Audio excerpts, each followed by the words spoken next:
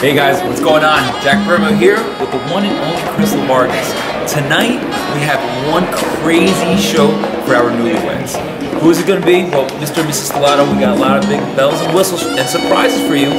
Awesome, yes. And like he said, I am Crystal, I am the percussionist, and I get to be here with the three-time DJ of the year, Jack Bermeo.